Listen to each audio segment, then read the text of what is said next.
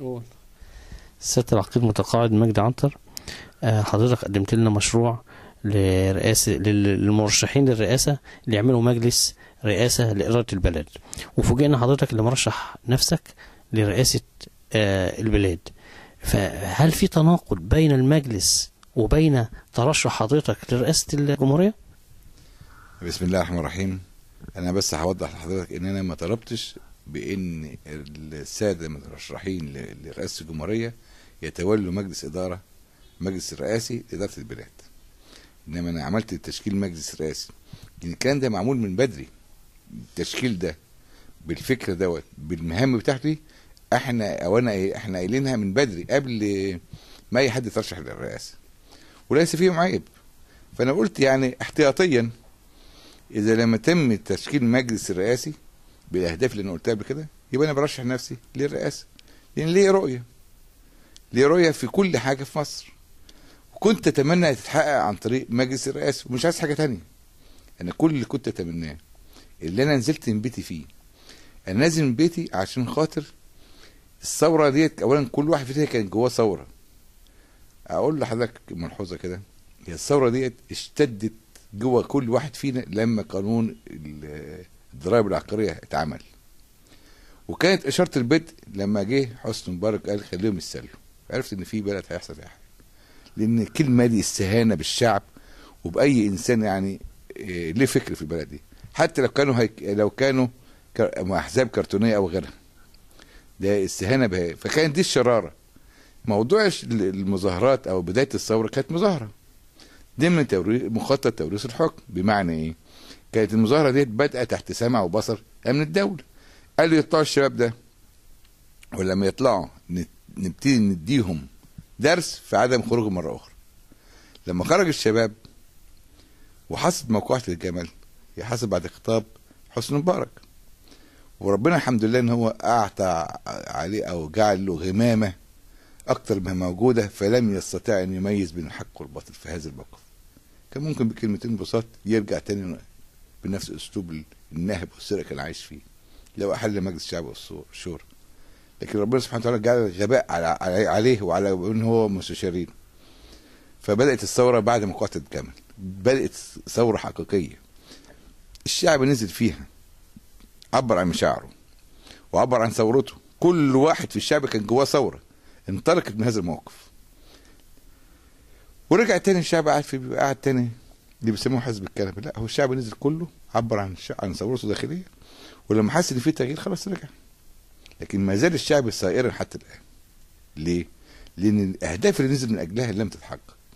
وشايف إن نفس الأسلوب كان بيتم أثناء مبارك أو الحكم السابق ما زال نفس الأسلوب ونفس الأفكار ونفس بالعكس ده ازدادت سوء. عشان الشعب كأن في هناك تعليم أدب إن إزاي تقوم بالتصور ف بسوء حسن نيه بسوء نيه الله أعلم بيها. لكن إحنا لو كنا شايفين إن في تقدم وفي تحقيق أهداف الثوره ما كناش نفكر في المجلس الرئاسي. أنا بقول مجلس الرئاسي لأنه مش عايز حكم. إحنا عايزين تشكيل. أنا آه، واحد من الناس. العمل الجماعي ده خير من أي حاجة تانية. لازم يكون مجموعة متناسقة بتقوم بمهمه معينة عشان تحقيق مهام الثورة واهداف تحقيق الثورة هي ثورة. إحنا عايزين تغيير. تغيير الأفضل. تغيير الإنسان. تغيير لبلدنا بلدنا تستحق كتير قوي. ت- يعني صعب قوي على كل إنسان مصري إن عايش إن بلدنا فيها خير ده. والإنسان المصري طول عمره رافع رأسه لفوق وكرامته لفوق. ويرجع تاني بيساوي حكام ظلمة. حكام يعني مش عايز أقول لك يعني ليس لهم مبدأ ولا قيمة ولا أي شيء. هانوا العرب وهانوا المسلمين وهانوا كل شيء. هانوا الأمة العربية كلهم. أنا كنت بحرج. بحس بحرج شديد لما أقعد في وسط مجموعة يبص المصريين. المصريين بهذا ال- ال- ال- العمل اللي إحنا بنقوم بيه. أو التراضي أو التراقي في قضايانا كلها سواء قضيه فلسطين أو غيرها. كان منظر سيء بنصدر غاز لاسرائيل بنصدر يعني حاجات يعني أنا ب- أمشي في مصر الاقي كل ارضيه موجودة ومية موجودة. مية سواء مية نيل أو مية جوفية أو أمطار. خير مصر موجود. خير مصر في, في, ال- في الأرض وفي السماء وفي كل خير وفي البحر وفي كل حاجة. والشعب جعان إزاي؟ يعني وزارة الزراعة اللي موجودين كلهم تلاميذ يهود. مراكز البحث مركز البحوث الزراعية مليان خبراء يتبعوا اليهود زي فؤاد عل... فؤاد هشام علام ومحمود النجار والمجموعة دي كلها. طيب. المستشارين دولت بياخدوا كام؟ يعني وزير المالية كان حب يحسن مستوى الدخل بدل ما يشحن من بره. المستشارين في مصر حوالي 6 6 مليار أو 16 حاجة رقم زي كده.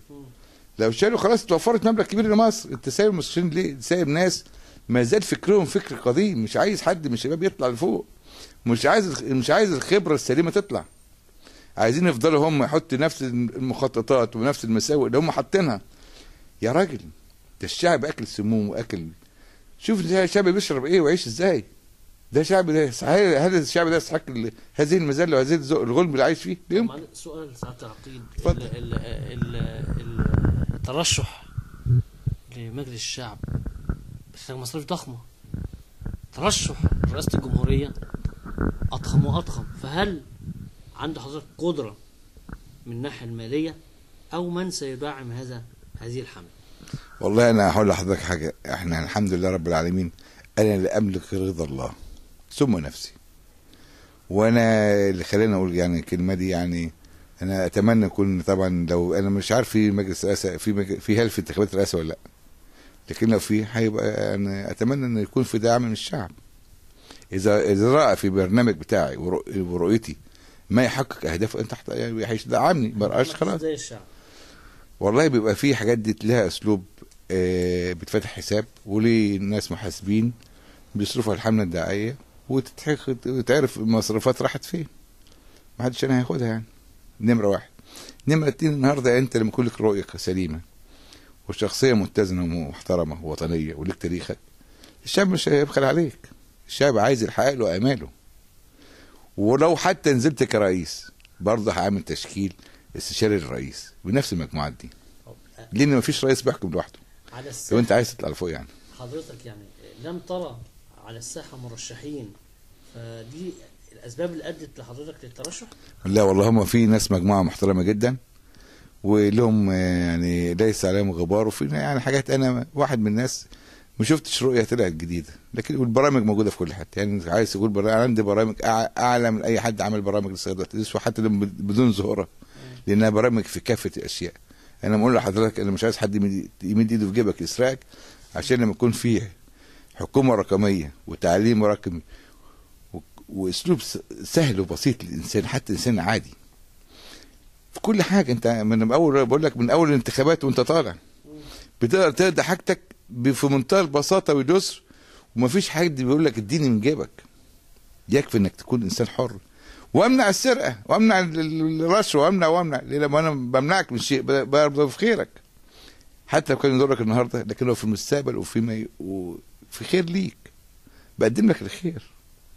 لما نكون كلنا نضاف ومفيش حد فينا سيء والإنسان المصري فكت قيوده هتلقى حاجة تانية خالص في البلد. البلد ديت بلد كلها خير ده ربنا ذكرها في القرآن كذا مرة. ادخلوا مصر إن شاء الله آمنين.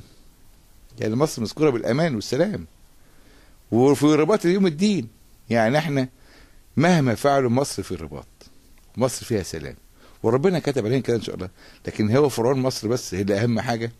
لو جه فرعون إنسان يتقي الله هيبقى شعب مصر كويس. فرعون وحش هتلقى حاجة تانية غير كده. وربنا يكفينا شر فرعون وإن إحنا نكون زي فرعون. شرفتني يا فندم.